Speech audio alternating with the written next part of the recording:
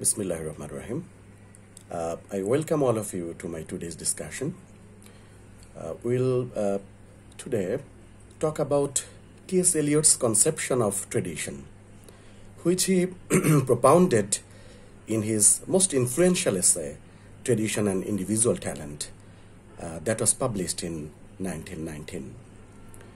In this essay, T.S. Eliot attempted two things to do. First, he has redefined the term tradition and put a new breath into it. Secondly, he has come up with a new poetic theory in reaction to the romantic poets. Uh, and this poetic theory is known as theory of impersonality. It means that poem should be impersonal, separate from the personality of the poet. However, our today's discussion will be focused on the concept of tradition.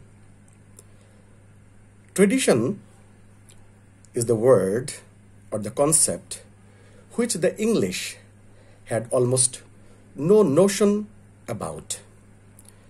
In English mind, there was no notion of literary tradition. Or tradition uh, was just a negative word. Tradition had it always a negative connotation. When we say that the poet is too traditional, or when we say that the poet is traditional, we actually express our uh, state of disapproval for the poet.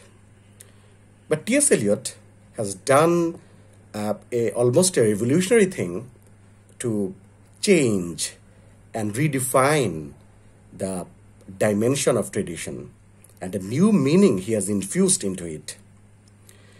Uh, quite a revolutionary, quite in a revolutionary manner, T.S. Eliot says that no poem can be an original poet, no poet can be an original poet without being traditional.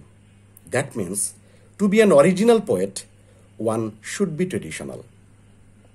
And he also says that the best part of a poet's work must be found in those where the dead poets have asserted their immortality.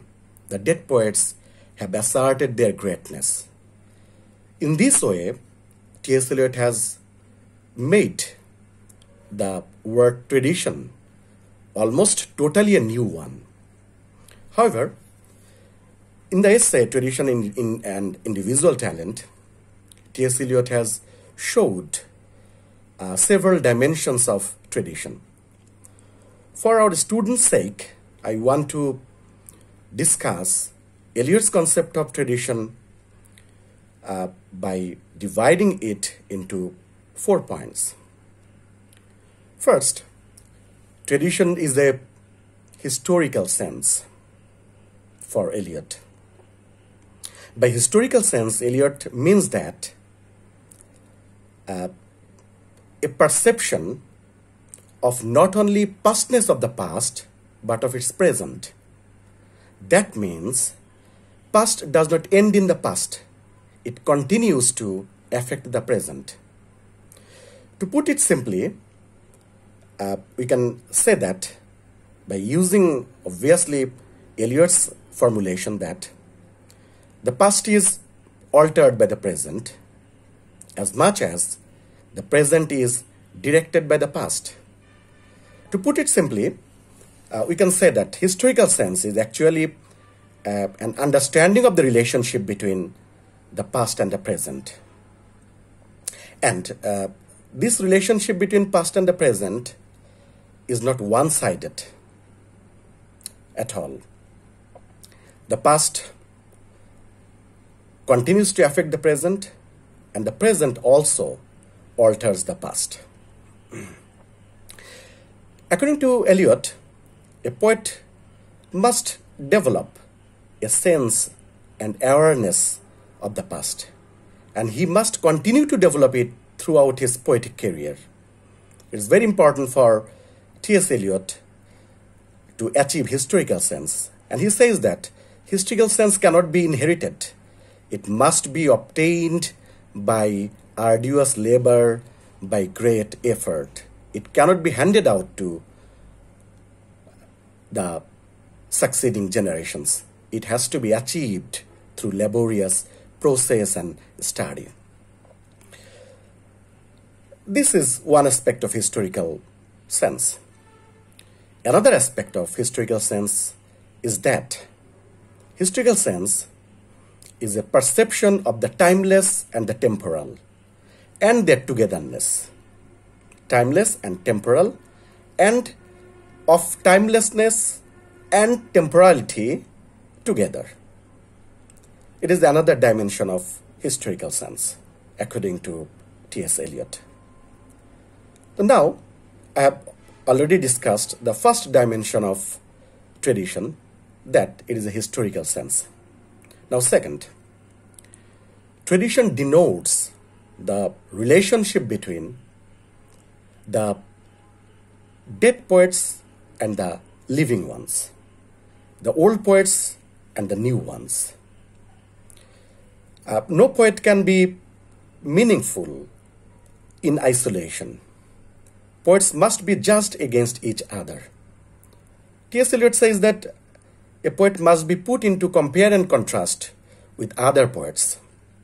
He uh, also asserts that the poets must be judged by the canon of the past. But this judgment is simply a judgment, actually. It is not an amputation. That means it's not a clinical operation to cut off one another. It is just a comparison. It is a judgment, judgment and it is, it is uh, a type of measuring each other. However, uh, it is another dimension of tradition that tradition is a relationship between the living poets and the dead ones. Now, we'll turn up to the third dimension of tradition. For T.S. Eliot, tradition uh, is an order, is an impersonal order, is an ideal order. Existing literary pieces, which, uh, which T.S. Eliot called uh, existing monuments. T.S. Eliot argues existing monuments forms an ideal order and this monument is modified this monument is changed sometimes by the introduction of a new work and this uh, existing monument or this existing order is complete eliot says until a new work comes up on the stage and the new work really new work sometimes alters the whole of the order. And then, uh, within the order, each particular work is readjusted within the wholeness of the order. For instance, we can say that by using our own example, that Rabindranath Tagore and Nazrul Islam form an order. When Jivananda Das comes to the stage, then the order is changed. The order is shifted. And the meaning of Rabindranath Tagore and the meaning of Nazrul uh, was newly produced in comparison with Jivananda Das. That means Jivananda Das alters the present, though Jivananda Das could never appear as a poet if there was no Rabindranath Tagore and Nazrul. Thus, tradition is an order. A new poet arrives on the stage, he adds something to the order, existing order, and a new order is created. Thus, tradition is an ideal order for T.S. Eliot. Uh, our fourth point is that tradition has a temporal dimension T.S. Eliot asserts that uh, a poet must understand, a poet must feel that the whole of European literature and the whole of English literature has a simultaneous existence. They form a simultaneous order. And within this order, a poet, a new English poet, will have to function. That means a poet has to be rooted in his country and in the place what the country is a part of. In the continent, what the country is a part of. To put it simply, you can say that an English poet will have to be both an English and a European. We can also alter the example and use our own one that uh, will be Asian. We'll, we'll have to get ourselves acquainted with Asian values and Asian poetry. If we want to write Bengali poetry, we must know the tradition of Bengali poetry, and alongside knowing our literature of our own country, we'll have to know the literature of the continent, Asian continent. Thus, Eliot also attaches another dimension of tradition that tradition has a spatial dimension. Spatial means S-P-A-T-I-L. Spatial spelling is S-P-A-T-I-L. So, we have already contrived four characteristics of tradition. I want to remind you that first, tradition means a historical sense. Second, tradition refers to the relationship between the living and the dead poets uh, and the new and the old ones. Third number, tradition is an impersonal order. Fourth, tradition uh, is a spatial dimension. That means a poet have to be a poet has to be rooted in his country and in his continent. Now, T.S. Eliot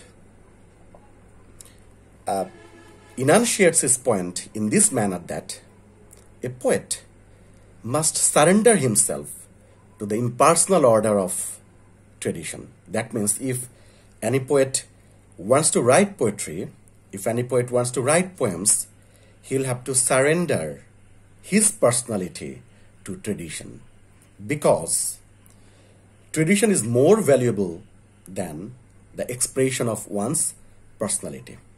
And T.S. Uh, Eliot will define uh, poetry in this manner that poetry is not an uh, expression of personality, rather an escape from it. In our next lecture, we'll discuss Eliot's theory of impersonality and uh, the self-sacrifice of the poet to the altar of tradition. So long, you will keep fine. Uh, thanks for watching.